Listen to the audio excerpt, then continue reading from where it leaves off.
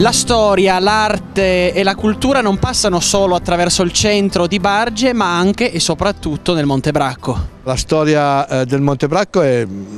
molto complessa se vogliamo, perché è una storia legata da un lato alla religiosità, alla creazione sul monte di una serie di chiese, tre chiese per la precisione, volute da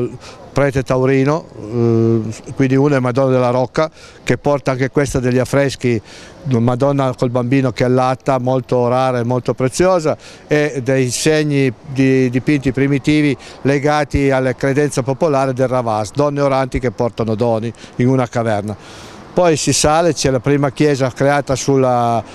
sulla sella del Monte Bracco dove c'è anche la Certosa che è la chiesa di San Salvatore della quale purtroppo esistono solamente più alcuni ruderi e arriviamo verso alla fine del 1200, inizio 1300 alla Certosa del Monte Bracco. La Certosa fondata da prima su input eh, con il eh, collegamento della Grande Chartreuse francese e dell'abbazia di Boscodon, infatti Montebracco è anche gemellata con l'abbazia di Boscodon sul lago d'Embrun perché il primo priore, il primo fondatore della chiesa fu un certo eh, un frate di Châteauroux che era vicino a,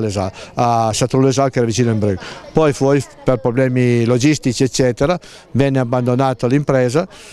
il monastero passò per brevissimo tempo in mano alle monache di Belmonte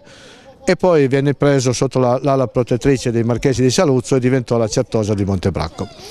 Uh, crespe pian pianino mh, mm, con delle limitazioni dovute al luogo, alla, alla redditività del terreno, non era certamente da paragonarsi alla redditività dell'abbazia di Staffardo o altri, fu un luogo più che altro di spiritualità e di eh, di meditazione, tant'è che, e questo per fare un salto avanti, lo rivelano anche i dipinti che sono stati portati alla luce all'inizio dell'anno, eh, tutti i santi che sono eh, rappresentati nell'abside della chiesa hanno in mano un libro, quindi segno di meditazione e di preghiera. Questo è stato un esempio di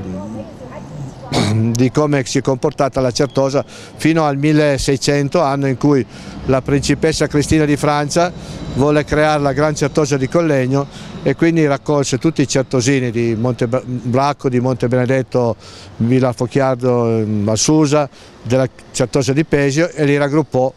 eh, diciamo alla Certosa di Collegio. Questa fu la fine della Certosa di Montebracco, ancora per un anno, un anno e qualcosa sopravvisse così all'ordinaria amministrazione e poi venne chiusa. Ritrovò di nuovo un suo momento di splendore, anche se limitato, con l'avvento dei trappisti che fuggivano dalla rivoluzione francese perché quando Napoleone con la rivoluzione loro cominciarono a scappare andavano in Svizzera, nel Friburgo, all'abbazia di Valsan. Eh, lì trovarono accoglienza ma ben presto l'abbazia fu strapiena e furono obbligati a, a cercare strade alternative sull'Europa, Italia, Spagna, Inghilterra, Russia.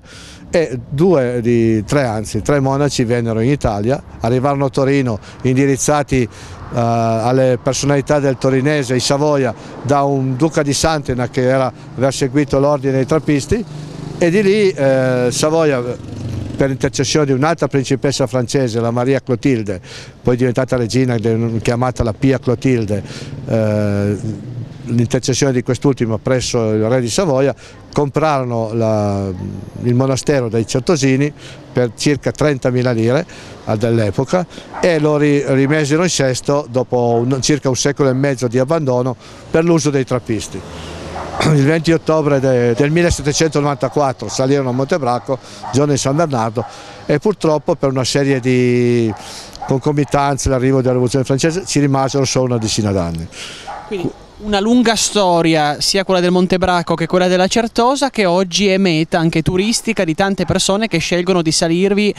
in auto oppure anche a piedi oppure anche in bici? Oggi come oggi, dopo l'avvento, mm, abbiamo dimenticato forse di dire che la montagna di Montebracco è stata anche citata da Leonardo nel suo scritto ed è stato appunto il fulcro delle manifestazioni di quest'anno sui 500 anni della morte, sta richiamando anche per le nuove eh, scoperte artistiche un mucchio di turisti, una parte di questi turisti forse eh, arrivano in macchina anche perché la strada carrozzabile lo permette,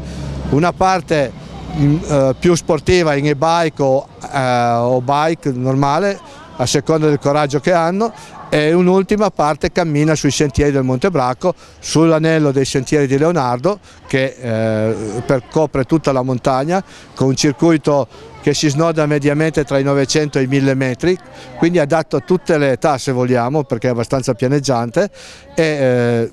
porta alla scoperta di numerose eh, caratteristiche interessanti sia faunistiche che, flore, che floreali eccetera. Eh, inoltre sul Monte Braco eh, a testimonianza delle, diciamo, degli insediamenti preistorici esistono delle incisioni rupestri che eh, andranno anche loro rivi, rivitalizzate perché sono già state viste eccetera, che danno eh, la dimostrazione che il Monte Bracco è stata una montagna, oltre che come qualcuno l'ha chiamata montagna sacra, anche una montagna sacra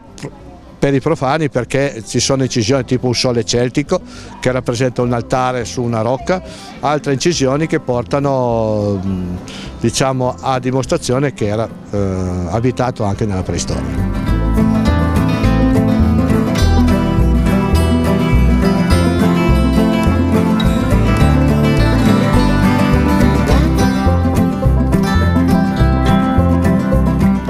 Tra gli eventi tipici del periodo autunnale in terra di Granda c'è senza dubbio l'Ottobrata Bargese che quest'anno torna dal 4 all'8 ottobre. Sì, un appuntamento arrivato alla 34esima edizione, quindi ha già una bella storia, è nata sull'intuizione del, del dottor Bollati che volle proporre anche qui queste feste tipiche romane. È legata alla fine della, della vendemmia e per noi è legata alla castagna tradizionalmente. Adesso si sta ampliando grazie al Made in Barge che è un'idea del mio geniale assessore Bruno Franco e cioè Barge racconta da tutte le sue diciamo, produzioni di qualità, una bella vetrina per tutti i bargesi.